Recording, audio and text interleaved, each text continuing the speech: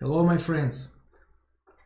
Today we're going to talk about how uh, we could create custom indicator uh, in VectorBT.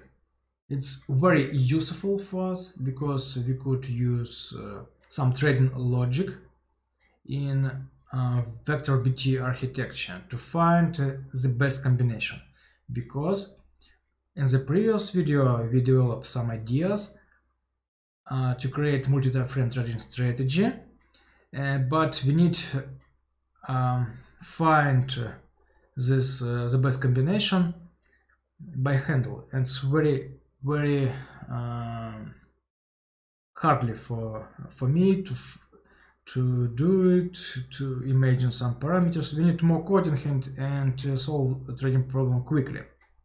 So let's do it.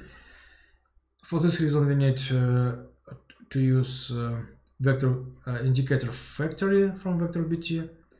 So let's do it. The first uh, we need to download data from Binance. It would be one minute interval for Bitcoin uh, USDT.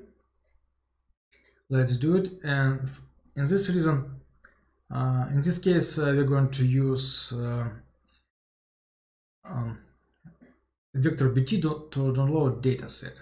Okay it would be one minute uh, bars for the last uh, seven days.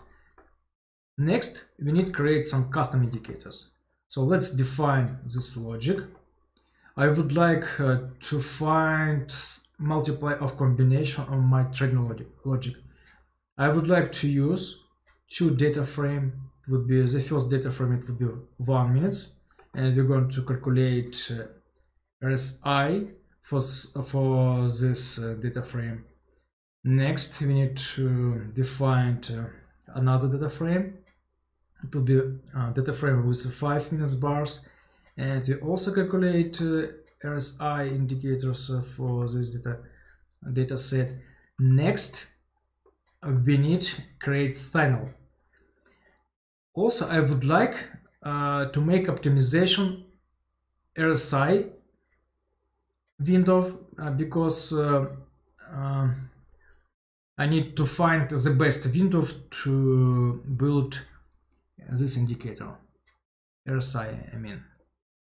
Next, I would like to optimize some some uh, trading idea uh, for top and down uh, argument, and you see uh, when we should to buy or sell.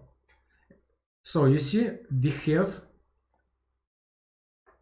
multiply arguments when we could uh, uh, optimize uh, this one uh, to find the best uh, parameters.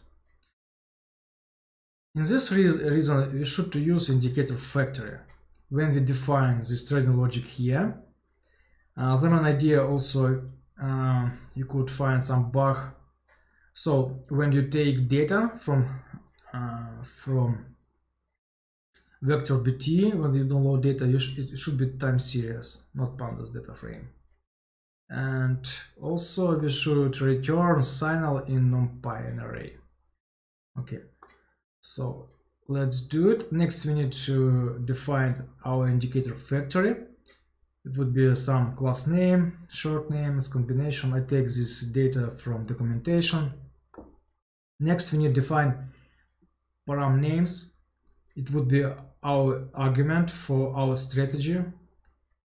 And you see I would like to uh, to, to find the best parameters for one minutes bar and for five minutes bar to create indicator and find some trading logic here. It, it would be a multiply of combination and I should find the best parameters for this trading strategy okay uh, this argument uh, we should uh, it should be uh, equal true because uh, we need to take pandas data frame and these indicators. And you see uh, we're going to take indicator factory class. You see this is a class. And in this class we define parameters and call from apply function to apply this argument the first argument would be our trading logic. custom indicator. Uh, I make some commit uh, to to understand what is it. Next, we need to define uh, our indicators. It would be this is this object of class int, and we should run this one. Let's look in.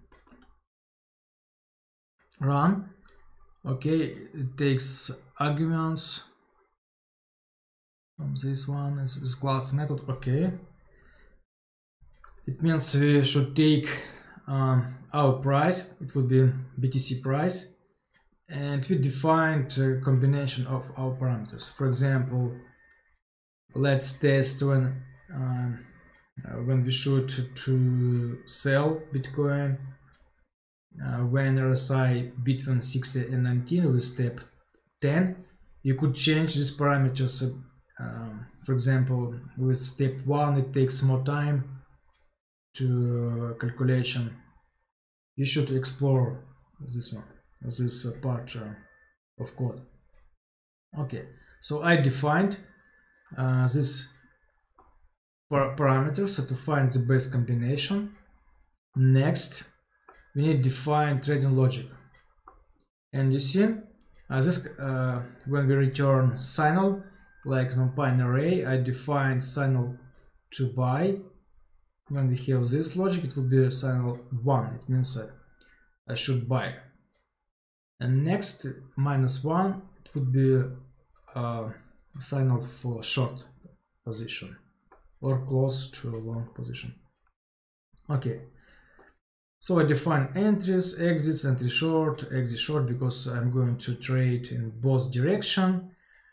And next, we indicate uh, we create our portfolio. We indicate our uh, our data with uh, Bitcoin price and define uh, that we are going to trade in both direction and defined commission. Okay, next we uh, create returns. Object. It would be a total return of uh, all our parameters and results of all our parameters and we defined uh, the maximum results and index of this maximum. It means we should return index of this data. It would be our our parameters uh, the best parameters. I, I mean 60 it would be top one. Okay let's do it. It takes some times.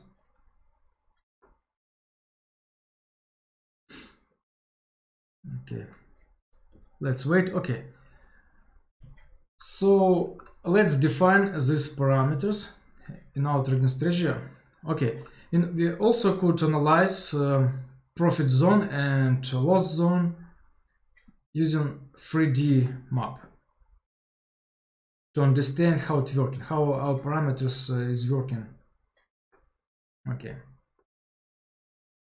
uh, you could make uh, some research here to understand uh, uh, more deeply how it's working. It's look like gradient in deep learning to find some an area with the best uh, solution. Okay, let's do let's do a backtest our strategy. We're going to use our indicators and we, and we indicate all the best parameters. You see from here. Okay let's do it. What happens? It takes some times I would like to see what is win rate for example. Okay it's very nice. Profit factor uh, is very big because uh, we have a small data set. It's very big profit factor. And total return is also very nice. Benchmark uh, is minus 15% uh, okay max drawdown is only 3% okay best trade okay best trade it it was one trade when we get uh, when we get half half of our results. Okay.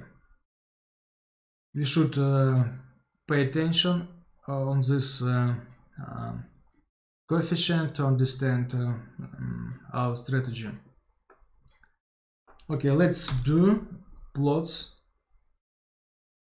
and you see we find some uh, the best parameters what working and you could use uh, this uh, code uh, for your target uh, and to make research. It could be uh, very nice tricks how to use vector bt to achieve some good experience to create trading strategy so guys, if you like this video, subscribe on my YouTube channel and see you next time. Bye.